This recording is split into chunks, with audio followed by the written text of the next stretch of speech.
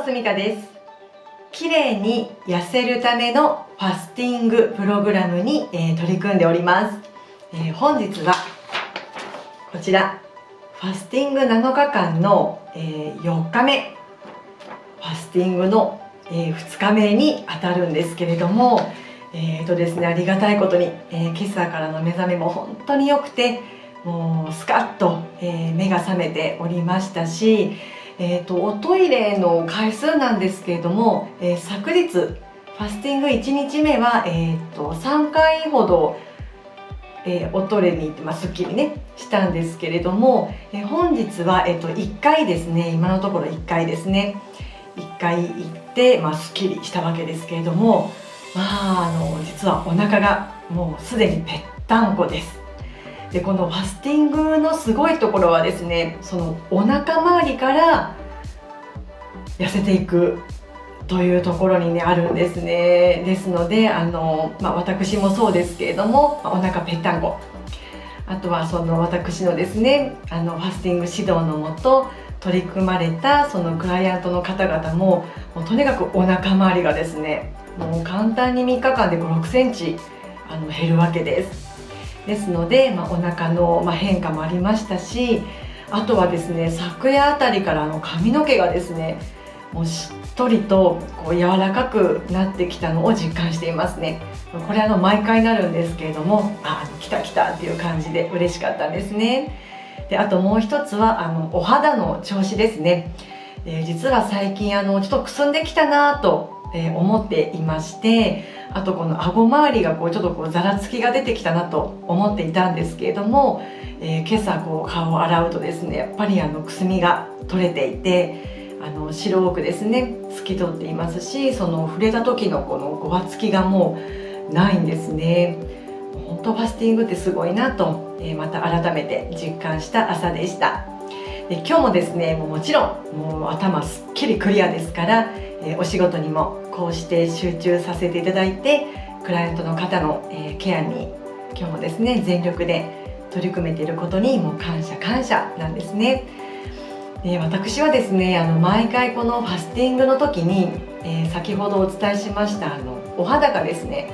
あの綺麗になっていく過程をその、まあ、感じるたんびに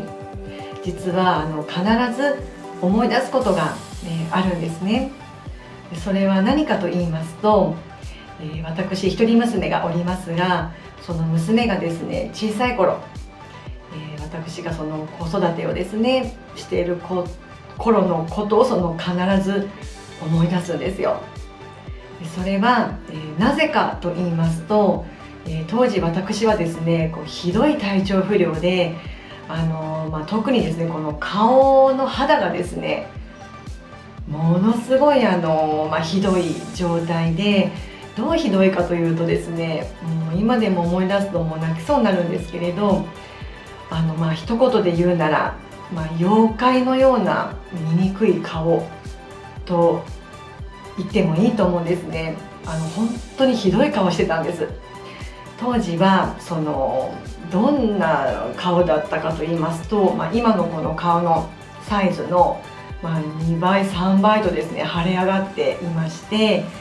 常にこう微熱もあってですねで原因が分からなかったんですずっと。なぜこんな風になるのか。でその当時は、えー、顔の肌のその奥からもう顔全部がその水泡でですねあの埋め尽くされておりましたのでその奥からあの黄色い色をしたこう体液がですね匂いのきついこう体液がもうまるでそのこう涙を流すかのような状態でもどくどくこう出続けるわけです。でそういったのがこう夜中こう拭えないまま朝を迎えるとですね私は毎朝その当時何をしていたかというとその体液が固まって目も口も開かないんですよ。固まってしまって。黄色いその例えて言うならこうべっこう飴のこう塊がベタっと顔にこう張り付いたの状態でしたので手探りでですね洗面所までなんとか行ってその張り付いたその薄いかさぶたをこうブワッとこう無理やり取るわけなんですね。でも痛いんですよこれが。もう毎回それが苦痛で。でもようやく剥ぎ落として、まあ、まつげとかも抜け落ちてたんですけどね。でようやくその洗って鏡でこう自分の顔を見るわけです。そして肛門ですね。ああ今日もこの醜い顔で一日娘と過ごすんだなってあの本当にこんな思いでですね実はあの暮らしてた時期があったんですね。で結論からお伝えしますとあの治ったんです。で何で治したかというと腸内環境を改善したもうこの一言に尽きるんですね。もういろいろ試したんですよ当時。もうもちろんもう何軒も病院はしごしましたし、まあ、西洋医学、まあ、漢方な東洋医学も全部試してですねあと運動療法ですとかエステですとかもういろんなこと試したんです。でも結果行き着いたのがこの腸内環境がもうすごく悪くてもう当時ストレスとかですね食べ物も腸に悪いものばっかり食べてましたからそういった形でその腸を汚していたんですね。ですので私はそれ以降その腸内環境を良くするためのその改善プログラムに、まあ、いろんなことを取り組んでるんですがその一つがこのファスティングなわけです。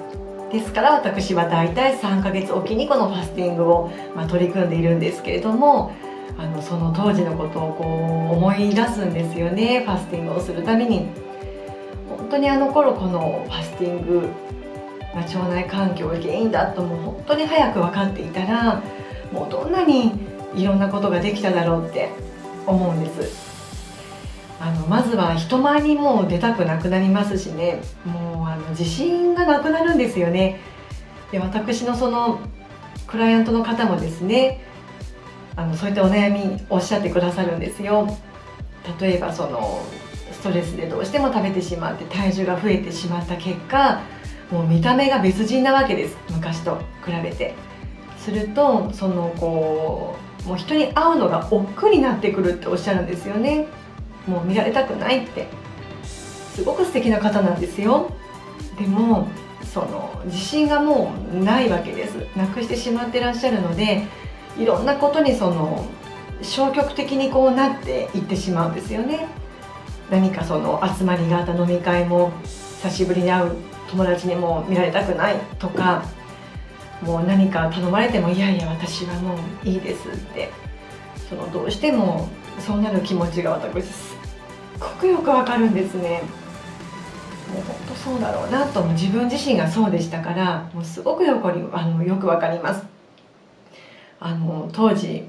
その体調不良の時ですねもう引きこもってましたからもう表に出れなくて。あの見かねた主人がですね当時あのそんなに家にずっといたらね体に悪いだろうからお散歩行こうかってあの夜になったらですね当時その主人も疲れているだろうにその仕事が終わって、えー、また小さい娘をこう寝かしつけた後ですねこう2人で夜な夜なあの散歩に行ったことをあの本当今でもあの覚えてます。あの優しいんです。主人優しいんですよ。まあ、ののろけ話はこれぐらいにしてですね。あのですので私の場合はその結果腸内環境が悪かった。もう善玉菌ではなくて悪玉菌でいっぱい汚れたその腸からのその排毒効果っていうのがそのま肌から出ていた。ということなんですけれどもあの特に肌荒れでお悩みの方がいらっしゃるもしくは、えー、肌に出るわけではなくてその体重に顕著に出てしまう方もそうですしあとはそのアレルギーですごくあの困っていらっしゃる方もそうです。あとは花粉症もですねこの腸内環境良くなるともう劇的に良くなるんですね。あのなぜかというとあの私の主人がそうだったからなんですよ。もう誓約書書くぐらいの強い薬がないとその花粉の時期暮らせなかった彼がですね今も全然ですよ。薬も一切飲んでないです。ですからそういった花粉症でお悩みの方ですとかあと不妊の方ですね。こういった方々というのはやはり腸内環境を改善すると結果血液がきれいになりますからその血液が体中を巡ってくれてで結果いろんなお体の不調がですねこう劇的に良くなるんです。しかもご自分でですよ。これはあのお薬ですとかの病院のお医者様がですねできることではないんですよ。体の全身の血液をきれいにするなんてですねできないんですよ。それは自分の体がするお仕事なんです。そのような力がもともと備わってるということなんです。でその力を最大限に発揮するのがその方法の一つとして今私が取り組んでいるこのファスティングということになるんですね。で今日はあの無事に2日目がねもう終わろうとしているんですけれどもあのですねもうほんと初回した時と比べてもう全く体調不良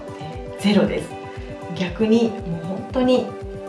若返ってですね子供よ子供の頃に戻ったような感覚で、えー、過ごすことができています。では、えー、今回はですねここからそのファスティング中によくあるご質問のまあ、えー、多いご質問ナンバーワンツースリーのまあワンツーぐらいに当たるお話をあの皆様にシェアしたいと思います。でそれは何かと言いますとその空腹をね我慢できるんでしょうか私がと。あのこういったねあのご心配される方いらっしゃるんですね。ですごくよくわかります。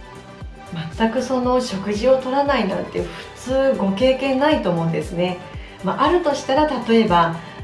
インフルエンザですとか、まあ、風邪をねひいた時にあの食べれないじゃないですか。あれはまあ体の自然な反応なんですよね。食べれなくすることでその免疫細胞をこう元気にしてあげないとウイルスと戦えないわけですからわざと食べないように体がそのようにするんです。で熱が出るのもそうですよね。ウイルスと戦うために熱が出てるわけですからあの自然なことなんですよね、まあ、そういった、まあ、お話にもつながるお話なんですけれども、えっと、まずその空腹を我慢できるんでしょうか？というのはですねあのお答えはズバリできます。でなぜかと言いますとあのそもそもお腹が空かないんですよ。不思議なんですけれどねこれはあの本当にお腹空かないんですね、まあ、お腹鳴ることありますけれども鳴っているだけでそのお腹空いてるわけではないです。でその時々来るその空腹感の波もあのー、私が取り組んでいるその酵素を取り入れたファスティングですから2時間おきにね取るのでその血糖値と必要最低限の栄養素はちゃんとそこで取れてますからあの安心ですしお腹空かないんですよね。ですので、えっと、酵素で糖質ある程度の血糖値を補ってあげることであの空腹は収まりますから大丈夫ですよということです。ただ、えー、ここで別のお話があるんですね。あの空腹と食欲は別物ですということです。でこれはどういうかとあのどういうことかと言いますとその食欲はですねその、まあ、ストレスからくるんですよね。あの先生どうしても食べてしまいますっていう方もまさにあのストレス食いです。結局そのストレスがかかってらっしゃるという方はあの脳がですねそのストレスを緩和するためにこの刺激を欲しいと、ま、命令するわけですよね。その時に手っ取り早いのが食べることなんですよ。食べて糖質を補って脳が安心するっていうその悪循環。が行き過ぎるとその食べ過ぎになってしまうわけです。で特にこうお腹が空いてるわけでもないのに何か食べたくなるという方もまさにそのストレスですよね。口寂しいだけなんですよ。何かこう入れてないと落ち着かないとかですね。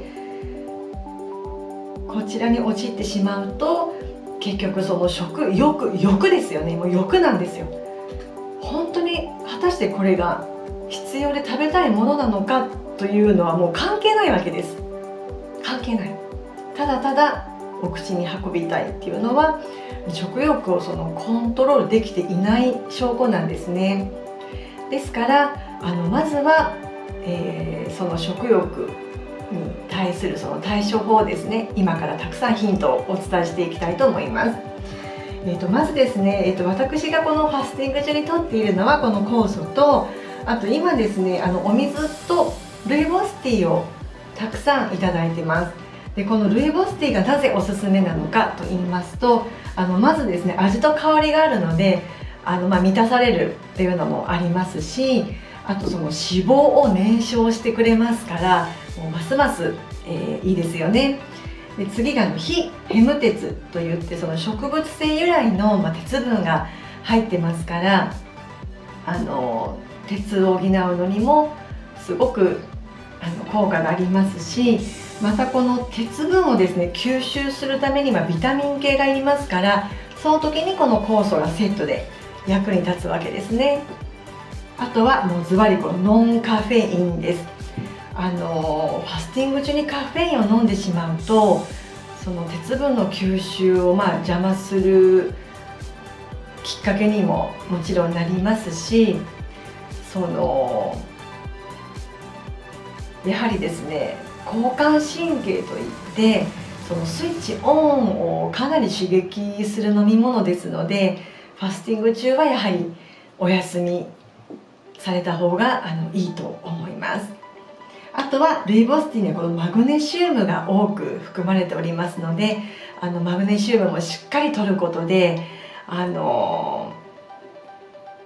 エネルギー効率がものすごく上がるんですよね、まあ、マグネシウムってのはお塩にもね含まれていますけれどもあの良質のですね生成する前の。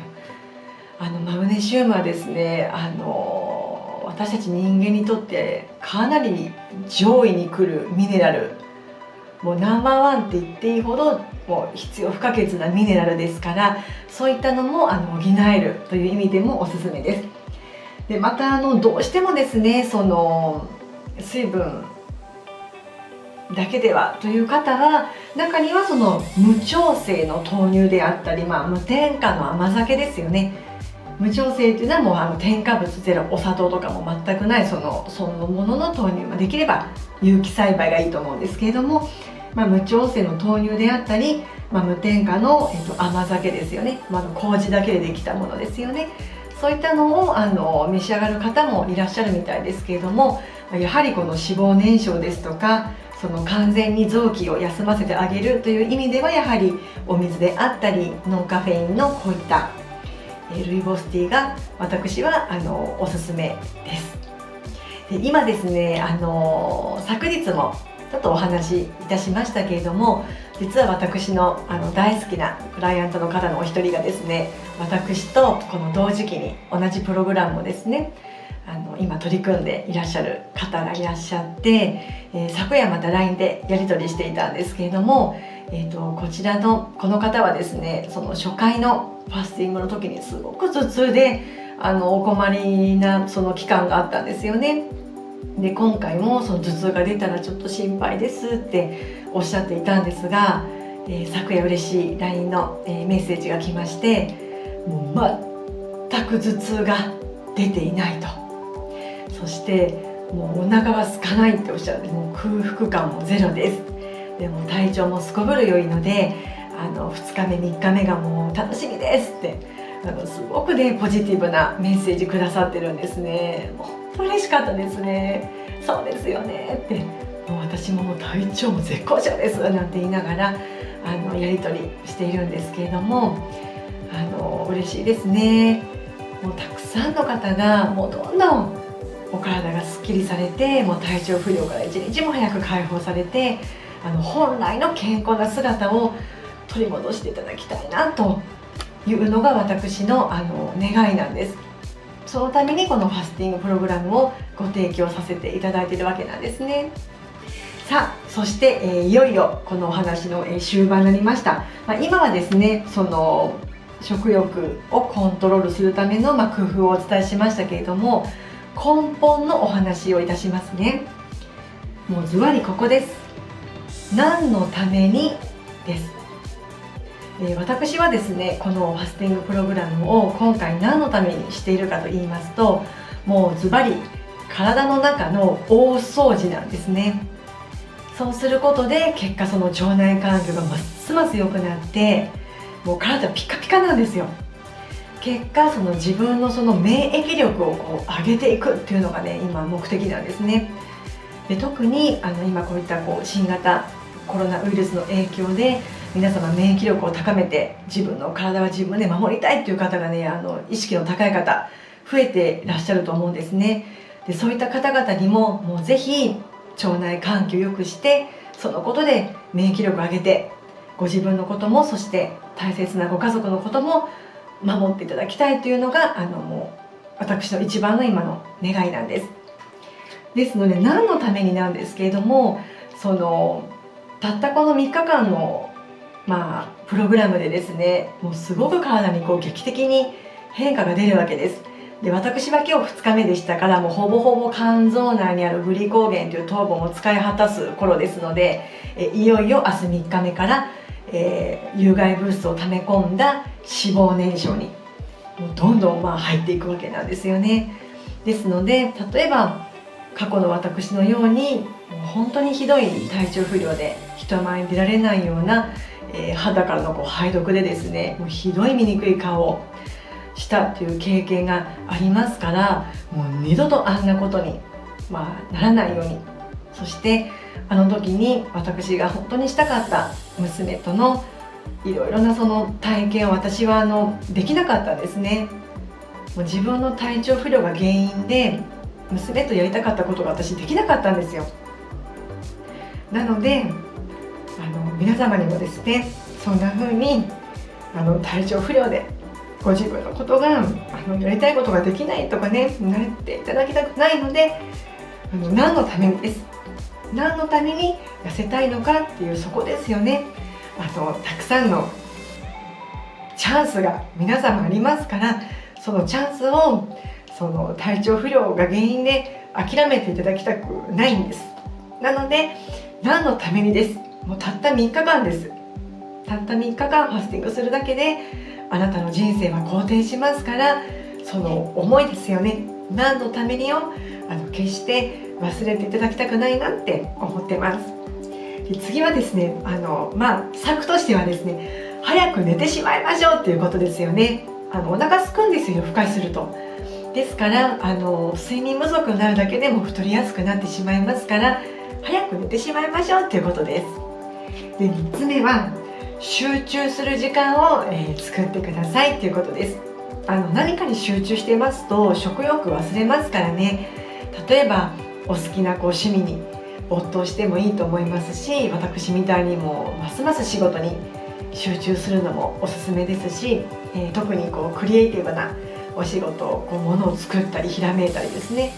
そういった方にもあのおすすめですのでもうとにかくあの集中する時間を作ってしまうということですね。さあ、えー、いかがでしたでしょうか、えー、私の、えー、ファスティング2日目。の、え体験談を今あの聞いていただきました。また今後もですね明日がいよいよ、え3日目脂肪燃焼にあたりますからぜひ明日もあの動画ご覧ください。えー、とまたこのファスティングが、えー、今日ご興味がある方は、え、こちら詳細欄に LINE のリンクを貼っておりますのでそちらからご登録後にいつでも私までご相談ください。一つ一つ丁寧にお答えさせていただいております、え、またですねこの、え、動画のお話も繰り返しあのお聞きいただいてご自分のためそして周りの大切な方々のために、えー、ぜひお役立てください、えー、このお話が役に立ったなと思っていただけましたら高評価ボタンとチャンネル登録をお願いいたします。